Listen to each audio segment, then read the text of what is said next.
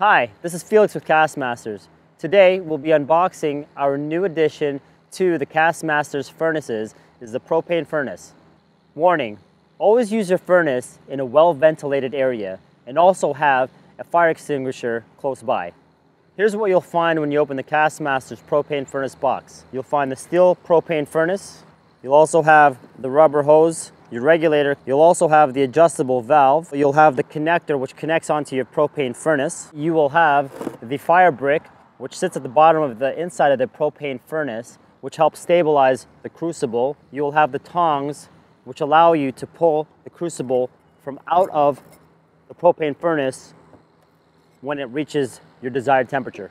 Before you start using your Castmasters propane furnace, there are a couple safety items that you can purchase.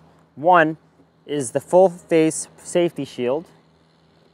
And two is your high heat resistant safety glove. First, we're gonna screw this end of the rubber hose to the regulator.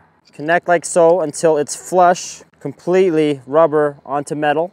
And then we're gonna tighten back this yellow tab to secure your regulator to your rubber hose from any gas leaking.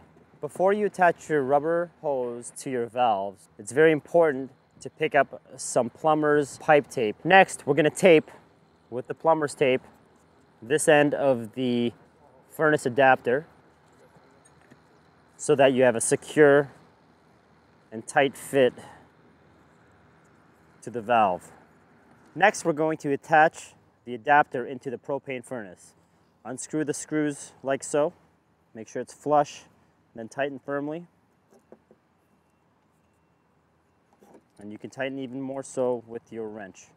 Now we're going to attach the regulator to your propane tank. Before turning on your propane tank, make sure that every single connection at every point is tightened securely. An extra safety measure is to spray soapy water at every connection area to see if there's any other visible leaks. Now that you've secured all your valve connections and tested with soapy water to make sure there is no gas in fact leaking, you're now ready to ignite your propane furnace. First step is to make sure your valve on this end is in the off position, which is perpendicular to your hose. This is closed, this is open. Make sure it's off. You turn it on by turning it counterclockwise. Your regulator reading should be between one and two.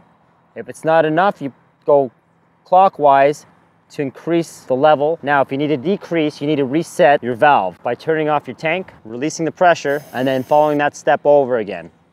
We're now ready to light the furnace. Make sure now you open the valve to let the gas in.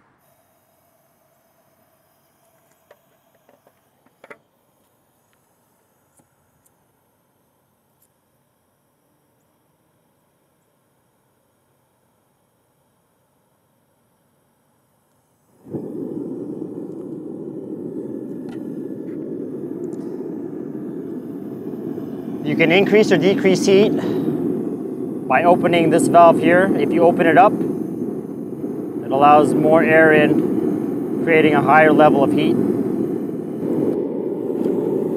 Now we're going to use your tongs and place the crucible inside.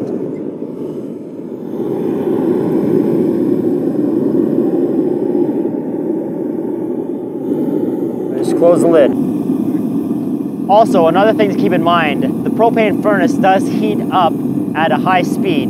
Therefore, with that high speed of heat, you will experience a little bit of warping on the top of the furnace. Also, the paint is going to burn off a little bit for the first few times you start your furnace.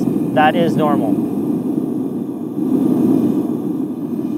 A couple things to keep in mind. Uh, it's very important to have a high rated thermometer so that you know what the heat is inside your crucible. If you have any further questions or concerns, please contact us directly at kastmastershelp at gmail.com.